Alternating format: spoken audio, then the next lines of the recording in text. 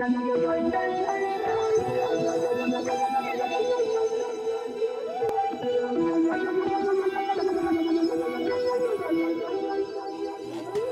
up, everybody? It's CMP with Craftmaster Productions and Studio One Tutorials.com. Don't forget to stop by Studio One Tutorials and get your membership. It is 50 cents a day.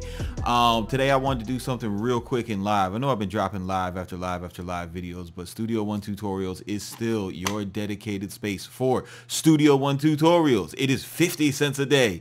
Um, yeah, but I'm a, I'm I'm gonna show YouTube some love with some with some Studio One stuff because I'm noticing, um, you know, I did so many Studio One videos that a lot of people are asking about stuff that I already covered, and I got new different ways of doing it. So you know, we're gonna go back and just start refilling all that up. Um, so I did a live stream the other day, and it it we talked about um, we talked a lot about drums and um, and tuning drums, and tuning drums is um, really fucking important if you're looking to get one a great mix and two just a great overall sound. Um shout out to uh shout out to hit play for for jumping in the live stream and conversing with us. I always i always like talking to him. He always has a uh, a, a different and unique perspective on things. I love talking to all you guys in the live streams. Y'all got to hit me up on these live streams man. We have fun.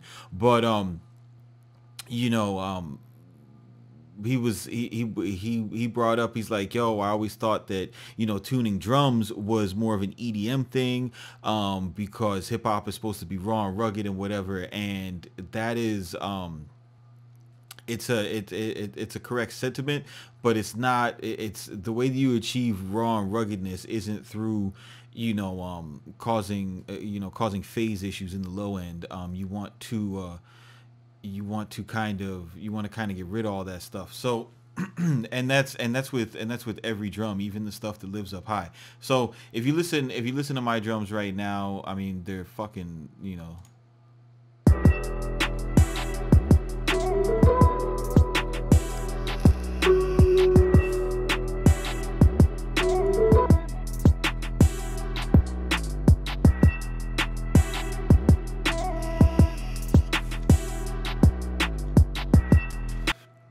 So, you know, without without hearing the, you know, I wanted to give you guys the final product. Now I'm gonna go through and I'm gonna show you how these drums sound with without the tuning, right? So we'll take uh, we'll take the kick back to its zero position. The original I, I pitched it up six semitones, which might sound extreme.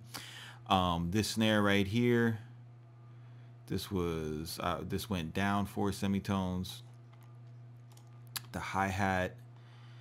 Where's my hi-hat? Oh god. Which hi-hat did I use? I use this guy? Yeah. This hi-hat. We went up. We went down for. So when you listen to them now,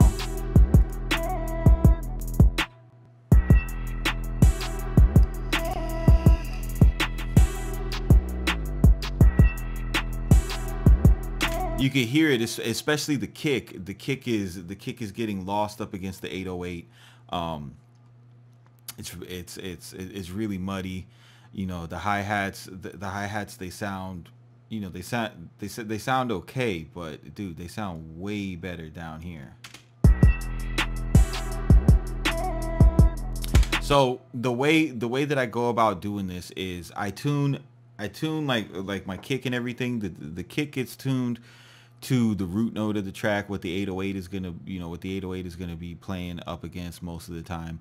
Um, i also you know when i do 808 pitches with my kicks i also pitch my um, I, I run the kicks in a similar pattern. Sometimes sometimes going up like a fifth in an octave doesn't doesn't sound as good. So you know you kind of have to play with that. You know i'll use a um, you know maybe i'll go up a third a fifth or something like that that that you really got to do by ear. But the way that the way that i get it started is um and i know there's a tutorial on this um shout out to buddy that dropped it um using the spectrum plugin. Now the reason why I'm doing another one is because I found I found another way that I liked a lot better and I'll show you how it's a little bit more functional. So this spectrum plugin it it, it comes in um, I don't know if it comes in the um below um, standard, but the, I have Ableton standard. I don't have Suite. So if if if you if you look in the presets for this, I was I was going through the presets and I was like, before I never looked at the preset because I'm like, what what kind of fucking preset are you gonna have in a in a spectrum analyzer? And you know that just goes to show being ignorant can cost you some time. So I looked at this pitch and uh, um, one right when you just drag the spectrum in here, all it does is it gives you um, you know this and you play you play your hi-hat. And then what I and then what I do is I would go to you know the highest the highest point put my mouse there and then you know right here it'll tell you the pitch.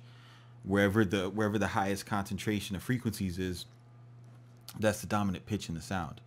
Um, so that was cool and that was working out for me. And then I saw this preset and I was like, what does this do? And this brings up a really cool um, grid for the spectrum analyzer where it shows you, you know, the octave and the pitches. And the reason why I like this is because it makes it easier to tune. I don't have to look at my I don't have to look at my keys or or count backwards or anything like that. Um, I can just say, okay, these, you know, these brighter lines right here, these are these are C's and then you know you can and these are semitones right here. This is the grid. So C D D sharp um I'm sorry D sharp E. So it, it just it, it just makes it easier to see if I got something down here and I want it to be in C. I know I need to go up one two three semitones right? So now I listen to you know now we could go through this hi-hat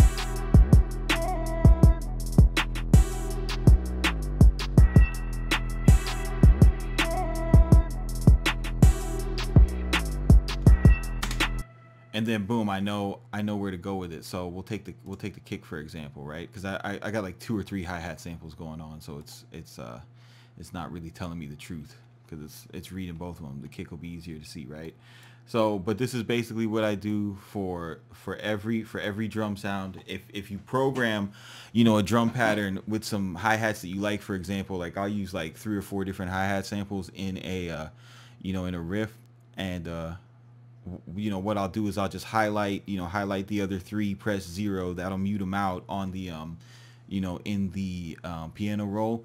And then you know just that way I could solo them out and just keep doing that if you're working with the drum rack right? So here's the kick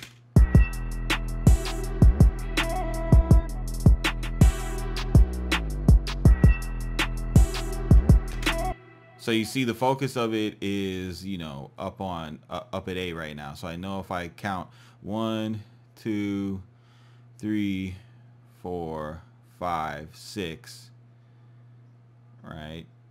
Boom. Now we're now we're over at E. Okay. So now I know I just got to take this transpose, go up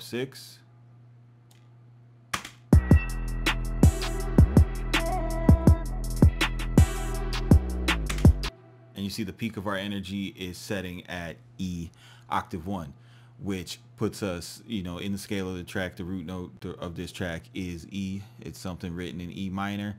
And you'll notice, like if you were doing this by ear, what you would listen for if you were manually tuning your kick is you would just wait for the kick to jump out up against the 808. You, um, the the way that I can identify it doing it strictly by ear is when the kick sounds its loudest and when the kick sounds its loudest that means you've eliminated um, whatever phasey mess you were getting into when the kick wasn't tuned to the root note. Once it's you know once it hits that perfect harmony um, and that's another reason why I fine tune my 808s you'll see um, you'll see I use this uh, I use the tuner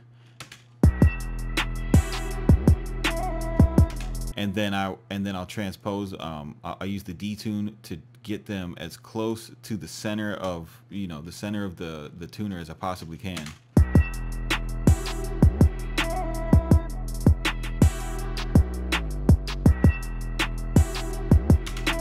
And then you hear you hear that that helps the kick stand out even more. So now, you know, you know there's there's other workarounds that you can do for this like you know you know for side chaining like if you're really in love with the tone of a kick and you don't want to pitch it you know you could side chain it to duck that 808 and that'll help the um that'll help the the kick punch through.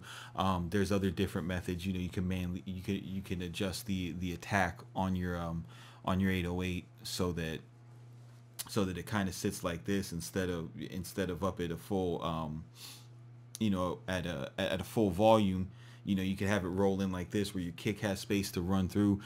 That works too you know if you're if, if you're really stuck in tone but um tuning your kicks like this this is something that um, and, and, your snares and your hi-hats and your open hats um, this is something that is going to take your drum game to uh, you, you, know just a, a, real industry professional level. This is something that mix engineers will do a lot after the fact if you know if they get a track from a producer who um, who's who's not really involved in the process you know they'll go ahead and tune their drums for them um, but you know if you if, if you're if you're expecting to compete in the beat space you know and and uh you know and sell beats these these types of um these types of drums are always going to be more attractive to the ear because it is what is just you know laden on the radio and and on um you know and on Spotify and on Tidal and Apple Music and everything is like that. It's it's this professional level of drums. So if you can if you can incorporate this in, into your own construction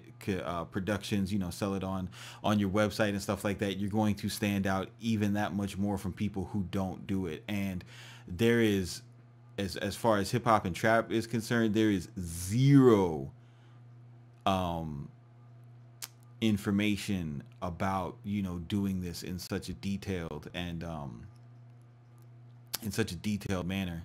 And it's sad because it's like it's it, it's like one of them things that these boys are keeping secret. But now you know. So this is cmp with craftmaster productions studio one tutorials.com keep it simple. Don't be basic. And tune your damn drums